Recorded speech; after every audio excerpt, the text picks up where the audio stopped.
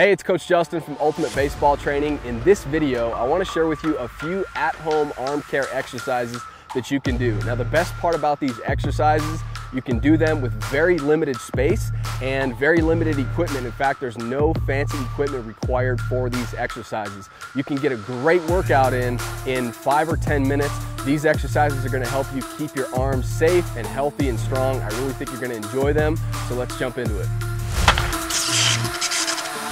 All right, so this first set of exercises is called YWTLs. You can start out with just your body weight and then progress to maybe some light dumbbells or some soup cans around the house, but you really don't want to go any more than about five pounds because these exercises are not designed for slinging around a bunch of weight. They're not designed to be done quickly.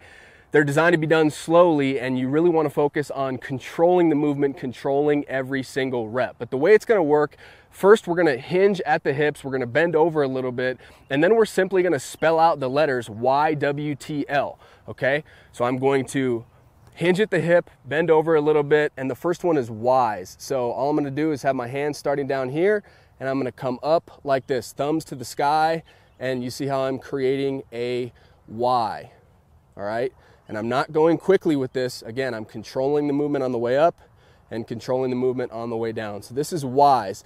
Then we can jump into Ws. We're gonna tuck our elbows in tight to our body, hands start down here like this, and then we're gonna make a W shape. And our thumbs are pretty much going to the sky in this exercise as well. So that's W's. Then after that, we're gonna jump into T's. T's are similar to Y's. So Y's, we went thumbs to the sky, created a Y shape out here. T's, we're gonna do the same thing, but we're gonna go out to the side like this. So this is T's. Controlling it up, controlling it down. And then the last one is L's. For L's, I like to do a little bit of a rowing motion and then get into my L shape. For this one, you wanna make sure that you're bent over a little bit. You're not gonna feel it if you're up tall like this. You have to hinge at the hips, bend over, start with your hands down here like this, row, and then make an L and then you've got to reverse the motion. Row, L, reverse.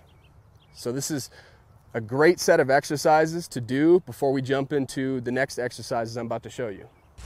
For the next two exercises, you're going to need access to a wall. I just have a chain link fence right here because I'm at the field, but a wall works much better. So grab a wall at home. And the first one is scap wall slide. So what we're gonna do my back is to the wall or to the fence like this, and I'm gonna raise my elbows to about shoulder height, and I'm gonna place my elbows on the wall and make sure my hands are also touching the wall. And then all we're gonna do is we're gonna work on sliding up and sliding down this wall.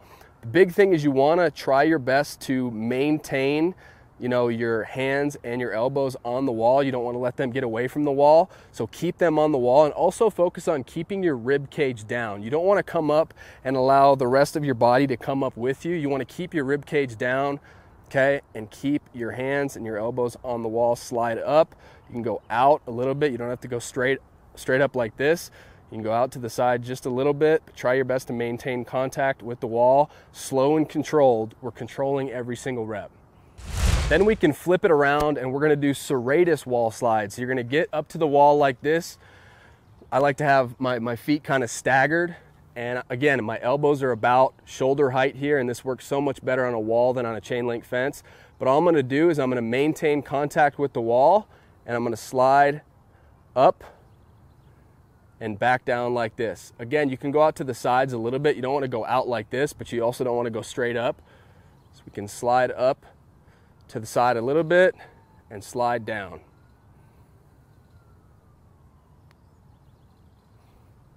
Now we're gonna jump into isometric internal and external rotation. So this is a great exercise to really activate the muscles in your rotator cuff. So we're gonna sit down for this one and all we're gonna do, first let's start out with internal rotation. So internal would be this way. I'm gonna start out with my hand like this and with my right hand, I'm going to attempt to do an internal rotation movement like this while resisting with my opposite hand. So my opposite hand goes here, I'm gonna push, resist, resist, resist for a few seconds. You can take a quick break, do it again. All I'm doing is I'm activating those muscles. I'm trying to internally rotate and I'm resisting with my opposite hand. And then we can do external rotations, which is the same thing, just in reverse. So external will be this way. Could start out here, My, my opposite hand is gonna go on the opposite side of my throwing hand here. And now I'm trying to make this external motion while resisting. So again, I'm on for a few seconds, take a quick break. Again. Now we're gonna do some more internal and external rotation, but this time you're going to need a soup can. We're gonna add a little bit of weight. So this first one, let's do internal rotation. So I'm a right-handed thrower. I'm gonna get down on the ground and I'm laying on my right hip, okay? The way this is gonna work, I'm gonna lay down like this.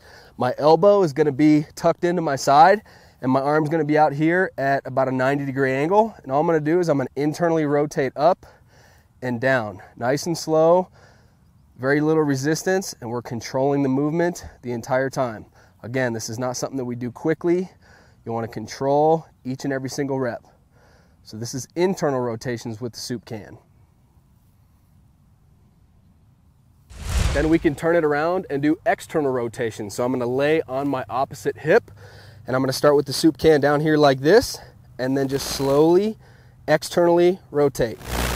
These exercises are great because with a little resistance and a little focus, really being intentional with every single rep, you can get a great workout in in five or 10 minutes. And these exercises are really gonna help you keep your arms safe and healthy and strong, which is what it's all about. So this is external rotation with the soup can. And then the last exercise we're gonna do today is band pull apart. So I've got a little red resistance band here. It's pretty light resistance. You can also use something like a J band if you have one of those laying around the house. Um, but again, the resistance and getting as much resistance as possible is not really what we're after here. We're after getting a resistance that challenges us, but really making sure that we go slow and we control every single rep uh, and we really activate all the muscles in our rotator cuff and in our shoulder, not necessarily trying to see how much resistance or how much weight we can sling around. But band pull aparts, you can do these with an under underhand grip or an overhand grip. You can do both. I would really recommend the underhander grip because you know it allows you to get into that external rotation position. But all we're gonna do is we're gonna have our hands out front like this, and we're simply gonna pull the band apart and then bring it back. Okay, slow and controlled. We're not whipping it like this. Slow and controlled. We're trying to maintain the resistance the entire time too. We don't want this slack here. We wanna try to maintain that resistance. This is the underhand grip. And if you'd like, you can also flip it around and do the overhand grip as well. I really hope you enjoyed this video as much as I enjoyed making it for you. And if you're not subscribed to the channel, please hit that subscribe button. We're coming out with new baseball videos every single week and I don't want you to miss any of them. So subscribe and join the UBT family. If you like this one, please leave it a like. I'd really appreciate that. Thank you so much for watching and I'll see you next time.